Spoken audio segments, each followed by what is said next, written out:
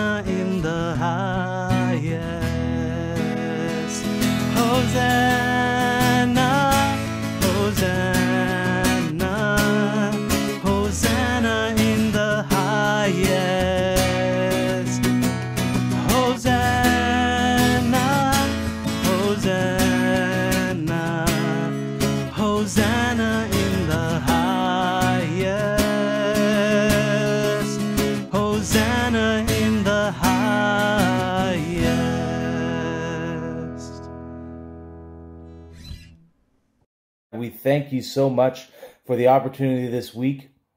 Bring us together in unity again as we're scattered across in our individual homes, scattered across the city. We are united by this opportunity to look together to our Savior, the Lord Jesus Christ. And we thank you for that. And we ask that you bring us together in that this week. God, we thank you and we praise you. And in your holy name we pray. Amen.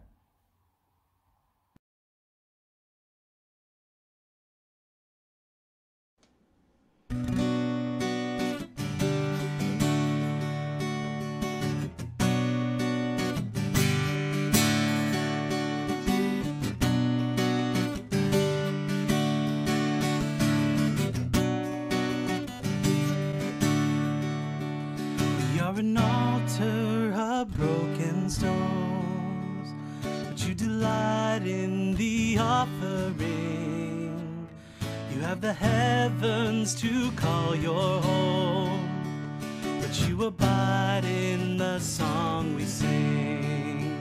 Ten thousand angels surround your throne to bring you praise that will never cease. But hallelujah from here below is still your favorite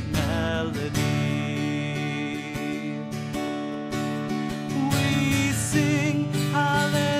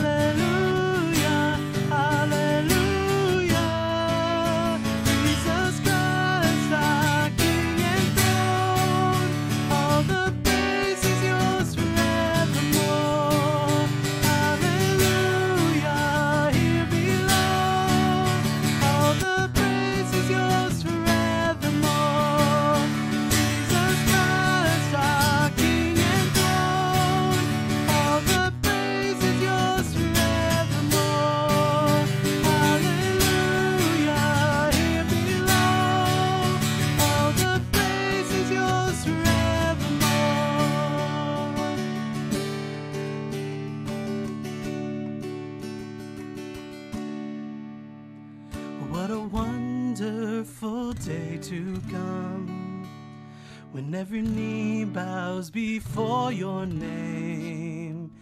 But we will not wait until it does, for here and now shall your kingdom reign.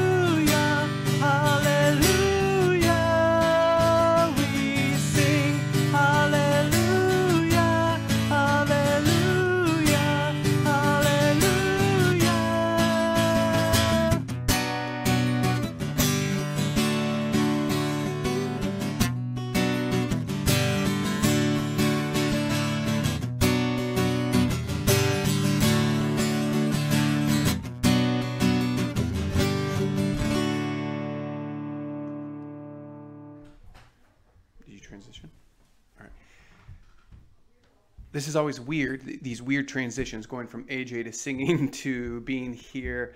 Um, if you want to grab a Bible and uh, turn to Luke chapter 19, starting with verse 28. Luke chapter 19, starting with verse 28. Today, as I said, is, is Palm Sunday, the day that we remember that, uh, that when Jesus uh, ascended up into Jerusalem. And so, story that all the gospels told.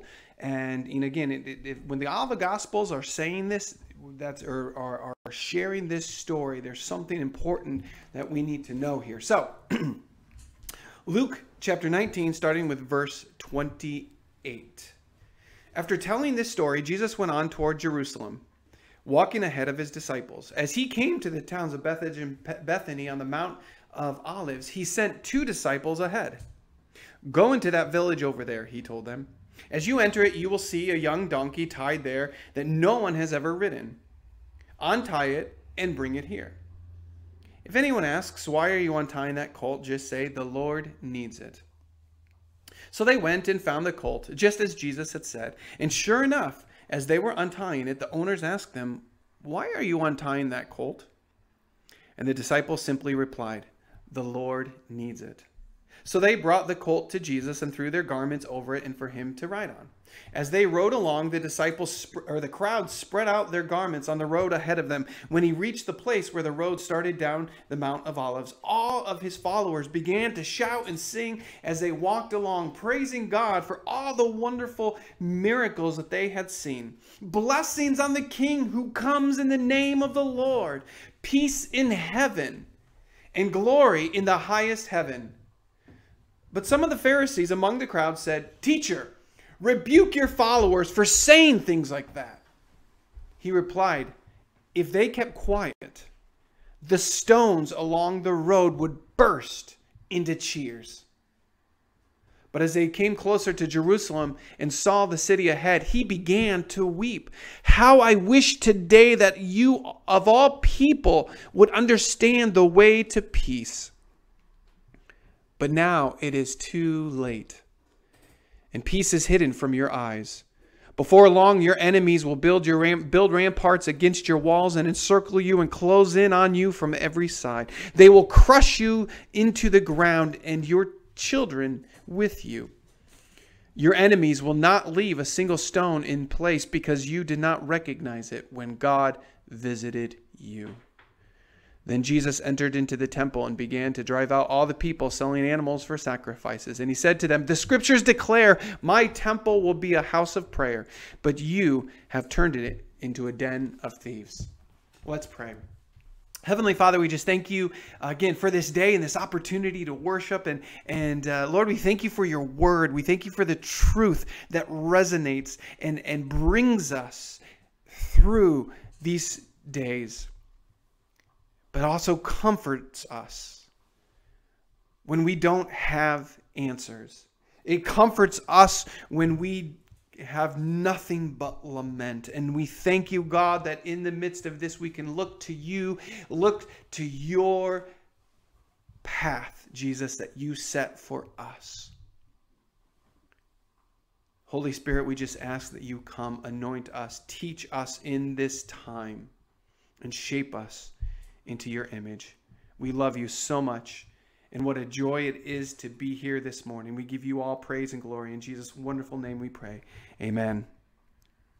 Well, again, let me just say it's it's it's great to be here. It's it's great uh, that we get to do this, and and we're moving forward, and um, uh, we're figuring this out, aren't we, Calvary, and the rest of the world? That in the midst of all of this, all this change, um, we continue to worship, which is great, and and our our our living room has become a sanctuary. Your living room has become a sanctuary.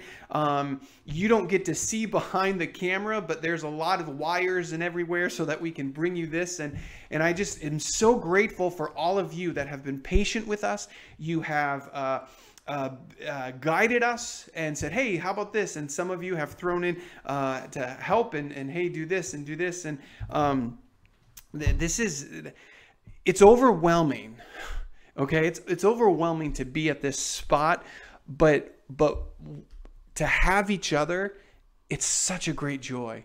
And, and, and to know that we're doing this and figuring this out together and, and knowing yeah that, that we've got many more days ahead of us like this but we're going to do this. And so now this becomes the norm and we can keep going and and we can start to say what's next for us in this time to to move forward in in um in ministry in in worship. And and so um i love it.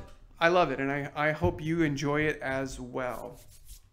Um this uh, last night when we were uh, when we were getting ready for bed and, and kind of in our doing our routine one of the kids had asked hey dad because we were talking about i said hey palm sundays tomorrow so we need to get to bed and and um, one of one of them said hey why do we celebrate palm sunday? And i you, you know there's that natural response where you want to like do all this like uh, pre-thought through theological and i just stopped and and it made me like, okay, why do we? And, and, maybe you've thought through this question and why is Palm Sunday a, a, big deal? And and and I know I've shared before that there's always I've always had this tension when it comes to Palm Sunday, and because you see in the stories where where like the people are excited and then like a couple days later they're they're crying out crucify, and they you know in these moments they're singing blessings on the king who comes in the name of the lord peace in heaven. And then all of a sudden they're saying yeah you're nothing. Um and it, it, there was this like uh, dissonance in in all of this but I think Palm Sunday allows us the opportunity to step into Jesus' story. And allows us to recognize that this is the moment that he is ascending to the throne. Now remember, and, and we were we were talking this morning in our Rooted from Home, we were talking about how, how Jesus had come to deliver, to redeem the world, and to take back uh, the world from Satan's clutches. And so he was ascending up to the throne. And the only way to do that was through the cross and the resurrection. So today, begins his ascension. And, and that's why we stop and remember this is why it's a big deal because he is ascending up. This is our week, church. This is our week. We celebrate because Jesus, we remember that Jesus claimed the kingship over all the world. Victory is ours because he has claimed the victory. And even in the midst of what's going on around us, we can strip away all of this excess. And that's what I'm excited about right now to be. And as I said before, I was hoping we would be out of this for uh, for the Palm Sunday and Easter. But maybe this is important because now we can strip away all of the excess of, of the holidays and focus on what's most important. Because it's when we focus on that, when we look to his ascension, when we look his, his going up to Jerusalem, when we look to the cross, when we look to the resurrection, that is going to be the strength. That is where we find the hope to get us through the coming days. So as, as, as we look at the story, there, there's a couple things that I see here, and, I, and we have to be careful and we have to make sure that we recognize this. And, and the first is that all of the pomp and circumstance, all of even though they didn't understand it, Jesus deserves all of it. This story is is the is the uh, gospel writers uh, making the assertion that Jesus is the rightful king of, of of Israel and he is the rightful king of the world. It's the it's the theological crescendo to this moment. And it's and it's it's the culmination of, of Jesus um, of Jesus uh, messiahship, of his his Davidic sonship, of his kingship, and the role of the coming one. At this moment, this week, is that theological culmination to say, yes, he is it. And this is Jesus stepping in to that prophetic vision that we heard a little bit earlier when, when Kenny uh, read from Zechariah, uh, the prophecy of Zechariah, or Zechariah's prophecy about the coming king. Again, let me just, um, if I can find it here. Rejoice, O people of Zion. Shout in triumph, O people of Jerusalem. Look, your king is coming. They were waiting for the king to come. And so Jesus steps into that prophetic role to show, Here I am. He is righteous and victorious, riding uh, and humble, riding on a donkey. And then I will remove the battle chariots from Israel. I will destroy the weapons. His realm will reach from sea to sea, and we see Jesus' kingship reach from sea to sea. We see him destroy the evil one in the cross and resurrection. He has made that covenant with us. And now, and I love this in verse 12 come back to the place Come back to the place of safety. Come back to the stronghold, you prisoners of hope. Those of us that still have hope, hold on and can come back confidently because Jesus has come. He's it, He's the King. And I, as I said to, to the kids this morning, we have to make that a reality that we live every single day. When we call Jesus King, it's not some neat title that's that's given to him that we're, you know, the when, you know, people can go and get an honorary doctorate from places. This isn't an honorary title that we're giving to Jesus. He is the king. And he has claimed the victory. And this march into Israel, this or this march into Jerusalem he deserves it. And that's why when the Pharisees uh, in verse 40, when they tried to quiet and, and said, Look, look, Rabbi, quiet them because they're going to get us in trouble. What they're saying is going to, and because the Pharisees were upset because they were crying out, Blessed is blessings on the King who comes. And the Pharisees knew that, that if the Roman guard, if the Romans heard them say that, they would destroy Jerusalem. Because there's only one king in the Roman rule, and that was Caesar. And that's why they tried to quiet them, but they didn't understand. They couldn't see that Jesus was the king and it was due him. So as as when Jesus when they say, "Hey, quiet them, shut them up. They're going to get us in trouble." And Jesus said, "I can quiet them, but you know what? If I silence them, these rocks are going to cry out." Do you know why he said that? Because all of creation recognizes Jesus as the king, the creator. And so if they were going to be silenced, Jesus knew that the, all of creation would start crying out because creation recognized Jesus as the king. This was his moment.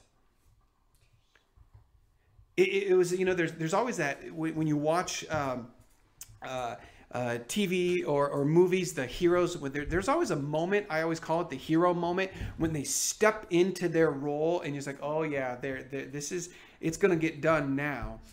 This was Jesus' hero moment. He was stepping onto this scene and, and showing the world, ready to flip the world upside down That even if the people weren't going to cry out, the creation was going to cry out because he was it. This was his moment. So, Jesus deserves this all. Jesus deserves the worship. Jesus deserves the palm waving. Jesus deserves the the the the the uh, the coats being thrown out in front of them. Jesus deserves the praise and the blessings and the honor.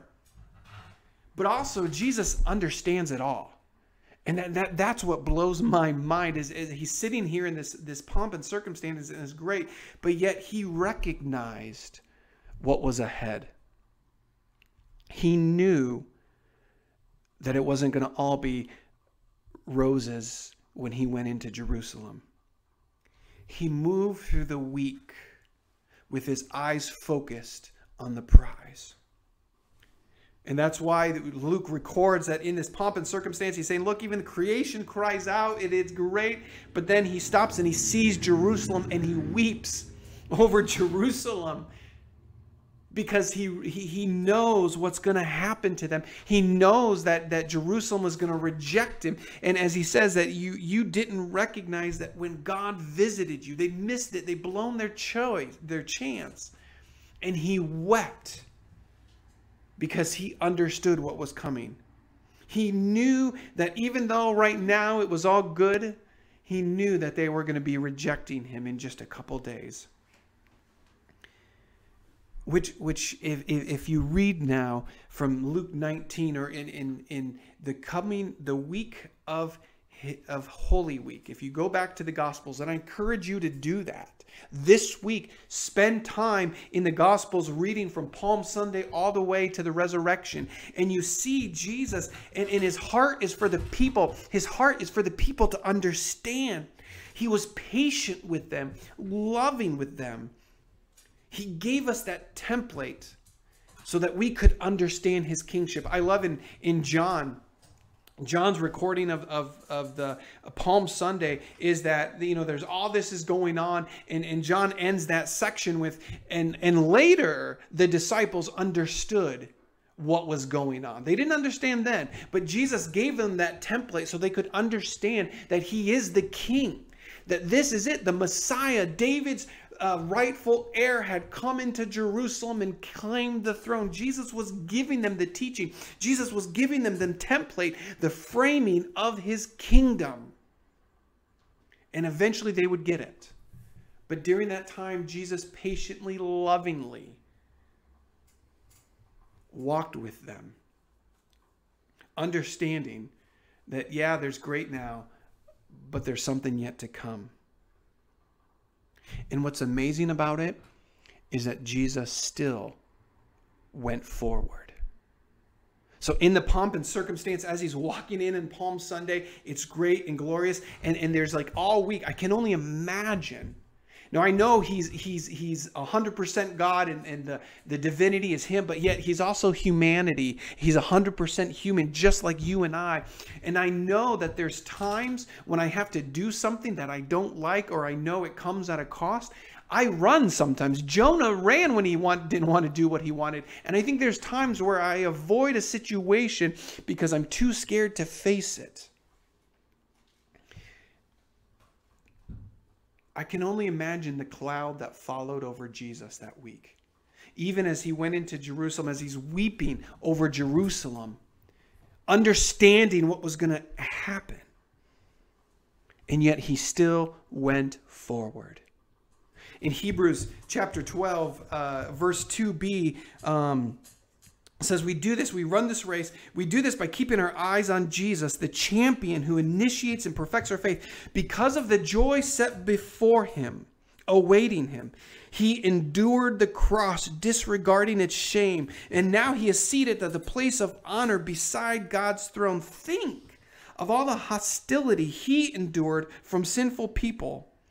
Then you won't become weary and give up. Jesus knew and understood what was going on. And yet he still went forward. Why? Because his eyes were set on what was going to come. He knew that he would have to endure that cross, that he would have to be despised. He would have to go forego or go through that shame, knowing it would bring you and I freedom, knowing that it would redeem us.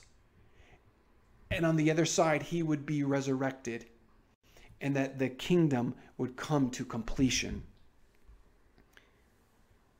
He was aware of the suffering, and yet he still went on.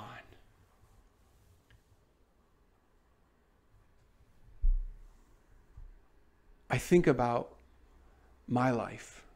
And I think about the times, and even now, as, as we think through what does it mean uh, to cry out Hosanna today, that often I think about what would, you know, and I pose the question if Jesus walked uh, past uh, down 72nd Street, what would I do? Would I cry out Hosanna? And, and how would I respond? But I think, but I think there's more than just being able to say, "Yay, Hosanna!" I, I think that that we live this moment every day when we have to go through knowing what's ahead.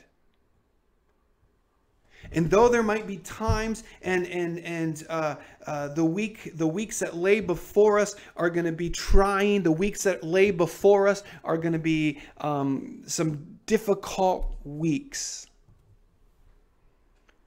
But if we're going to cry out Hosanna today, we have to know that we can get through the dark Friday and Saturday knowing that Sunday's on the way. To cry out to Hosanna now means to recognize Jesus' kingship.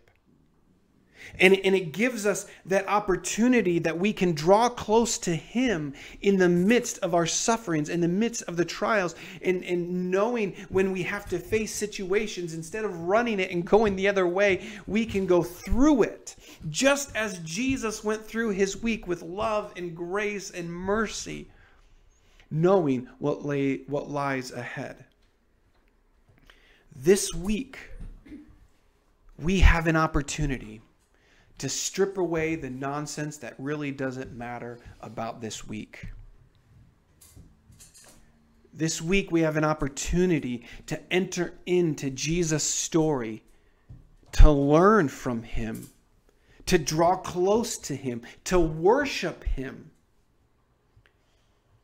and find encouragement from his life because we know that that whether it's it's the next couple of weeks, and, and I'm going to be honest, when it, when I think about an, another month, it's overwhelming. And, and, there's moments that I want to draw back, and, and, and my family is like, "Yeah, another month with you." Um, it's it, it's it's tough, but then I think about what else could happen and I think about the unknown or, or, or not even just this COVID 19 stuff. When I, when I think about what could lie ahead years from now, whether it's, it's my own personal trials, my family trials, going through a loss, going through um, difficult situations, going through whatever it is, going through death itself, we can move through it because Jesus moved through this week. Our eyes must be set on what's most important. Our eyes must be set on Christ. Recognizing that if it's one thing, eh, that it's more than just waving palms and saying, Hosanna, but it's truly coming to Him to draw close, to worship, to learn, and draw strength and encouragement from Him. Jesus is worthy of all our praise.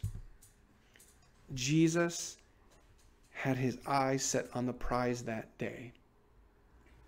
And now, we, as, as Hebrews 12 says, we can set our eyes on Him and run through the good times and through the trials. Because He's done it. Here, He did it. So we can do it.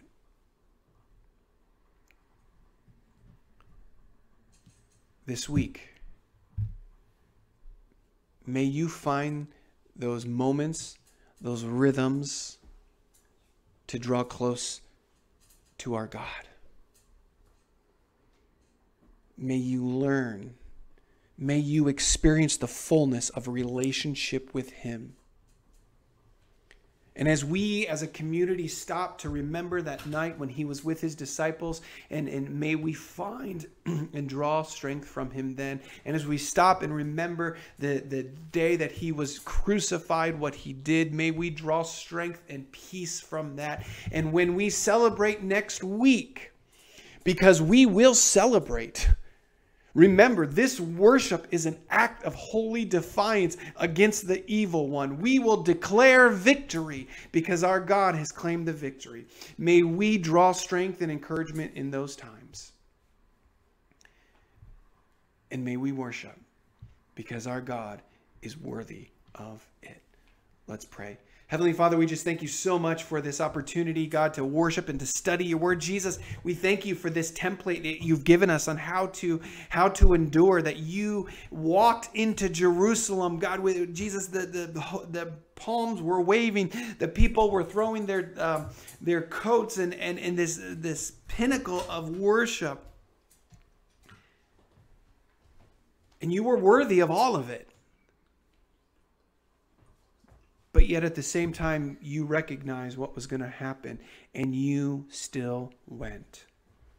We thank you that you went because it is your going that we find redemption. It is you going and lovingly and patiently walking with people that week and with us in our weeks. You went to the cross willingly, willingly giving up your life to claim the victory over sin and death. And may we make that kingdom reality our reality that we live. This week, Lord, we don't want just times to, to glaze over a historical moment, but God, we want to enter into your story, making it real for us. So that when we when we celebrate next week, it's just not another historical moment that we're looking back. It's a, a, a resurrection in real time. It's a reality that we live and the hope that we have and the strength that we have to face whatever situation is before us. We can do it because you did it. Thank you, Jesus, for that sacrifice. Thank you for that, that template that you showed us. And now we will walk this week and next week and the up until May and moving forward in your shadow, facing whatever comes before us, because you are with us. You are amazing. You are worthy. Hallelujah. Hosanna. Blessed is, is the King who comes in the name of the Lord. We love you. We ask all this in the powerful name of the Father, Son, and Holy Spirit. Amen.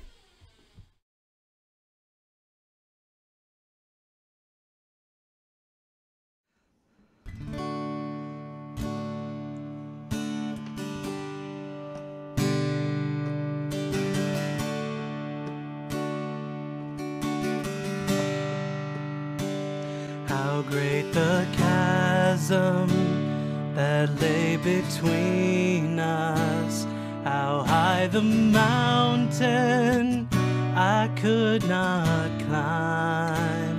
In desperation, I turned to heaven and spoke your name into the night. Then through the your loving kindness tore through the shadows of my soul. The work is finished, the end is written. Jesus Christ,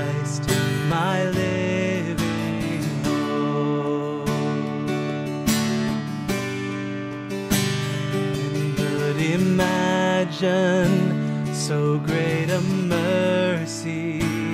What heart could fathom such boundless grace?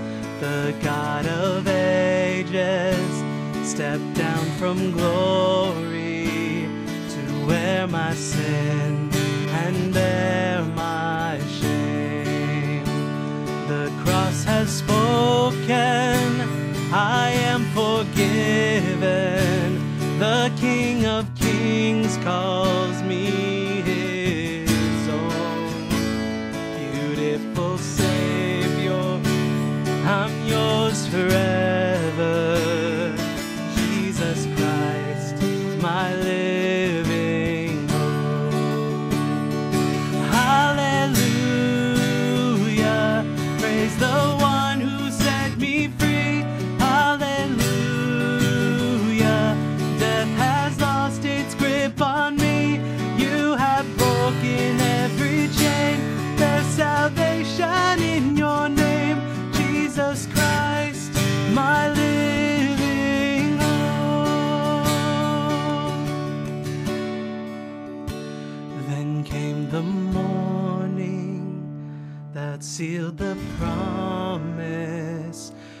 Buried body began to breathe out of the silence. The roaring lion declared the grave has no claim on me. Then came the morning that sealed the promise. Your buried body began to breathe out of the silence. The roaring lion declared the grave has no claim on me. Jesus, yours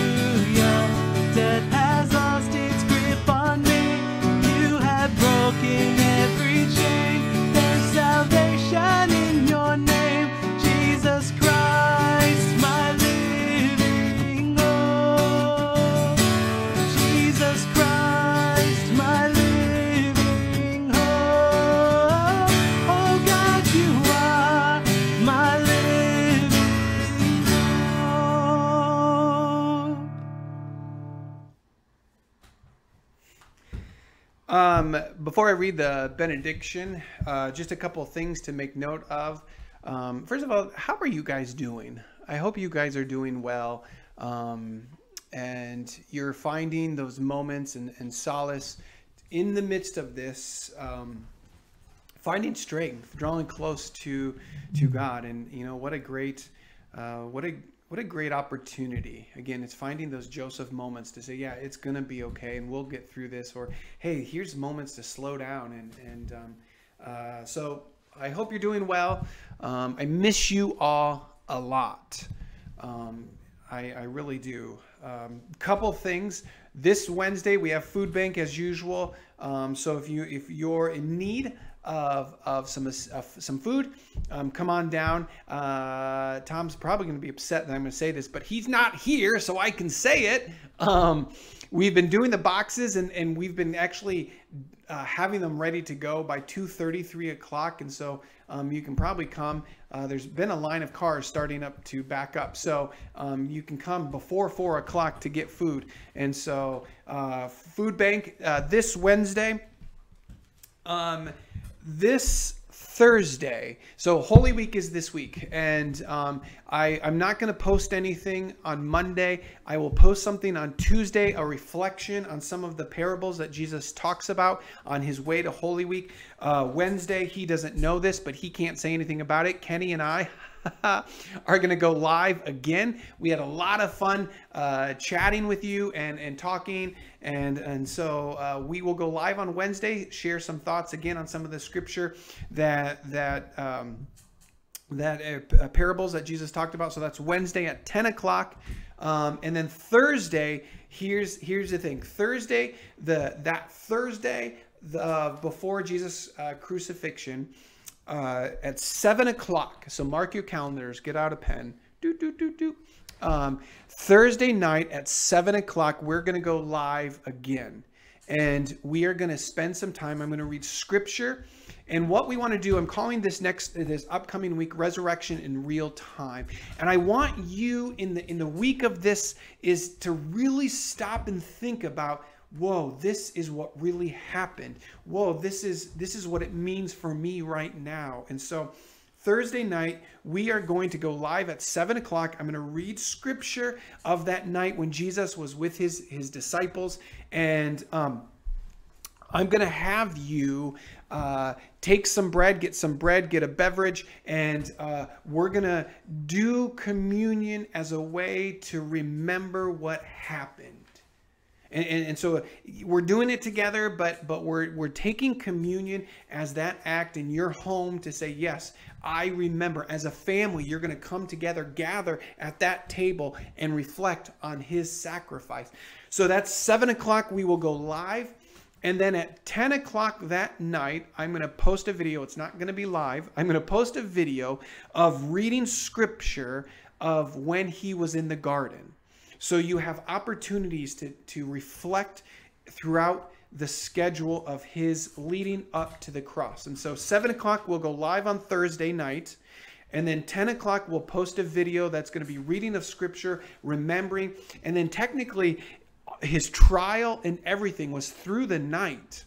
That Jesus, well, I'm not going to get into it's a whole other sermon, but through the whole night was his trial, was when he was being beaten. And, um, so 10 o'clock, we'll post him in the garden. And then Friday morning, we're going to post another video of, of, of reading when he was before uh, Pilate, when he, he was on trial. And then Friday at 12, we're going to read, uh, post a video of him being crucified. And then, as we know, he was up there for a while. And then at 3 o'clock, we'll post another video of, of, of him saying, It is finished. And then from that point until Saturday, or I'm sorry, Sunday morning, we're going to go dark, which means we're going to take these moments as a church community. The Facebooks, I'm going to put a dark screen over it or however to just it's it's not there's not going to be any pictures or anything as a as a symbol as a way to recognize that the Saturday moments that we are in the that they were in the darkness at that moment that Jesus was in the grave and then Sunday morning at 5 a.m. we will post a video it's not going to be live don't expect me to be live at 5 a.m. of of the resurrection we'll read when when when they went to the tomb and the tomb and the angel said he is not here and then of course so that's that's 5 a.m. and then we will have worship together at 10:30 as normal. So we will post this on our website. We will send out uh, yeah, bring your own egg bake. We won't gather to eat. That's another time. So let me let me just say this. Um, a lot of people are like, okay, well, it's you know we're bummed out because we don't get to have uh, our our potluck, our breakfast brunch, or whatever together. So here's the deal, Calvary. Um, we will celebrate and we're going to rock it out next week because Christ is risen and he is risen victoriously. So we will celebrate, we will worship. But when we come back together finally, that's going to be yet another big party because we will celebrate our community that we can be bound together in Christ. So, uh, this week, uh, we'll post it on our website. We'll have um, a schedule up on Facebook and on YouTube. We'll post a video about what's going to be going so you can follow along. And I encourage you all to be reading the Gospels from from the Palm Sunday all the way to the to uh, the resurrection. Also, some people have been asking me, and I um, the CRT Calvary reading together is the book of Isaiah.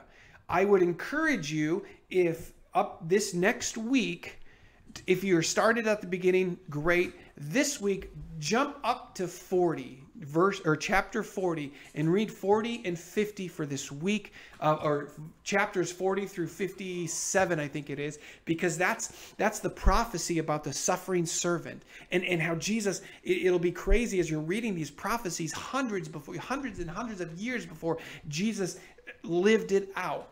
And you'll see how he is fit that prophetic vision of of the messiah so I think that's it. Um, again, check Facebook, check uh, our website, calvarytacoma.org, and um, uh, to find out what's the schedule for this week. Um, thanks for joining us. Thanks for uh, this worship opportunity. Um, I just want to end with this. Um, oh, one more thing. Sorry, there's always one more thing. After this, um, we're going to close out that don't quickly hit, you know, stop watching after I stop talking. I've got a video that's going to be, uh, uh, some of you made a video of you dancing, waving palms. So after I read the benediction scripture, we're going to go right to that video. That will be a picture, a bunch of uh, uh, montage of, of some music and, and some of you are dancing and celebrating. Um, some of you got it in too late. I really apologize, but we'll make another one fun like that. So, Calvary family, church family across the country, across the globe. Therefore, since we are surrounded by such a great cloud of witnesses in our homes and across the internet, let us strip off this week every weight that slows us down, especially the sin that easily tangles us up this week may we run with endurance the race that God has set before us. We do this this week by keeping our eyes set on Jesus, the champion who initiates and perfects our faith.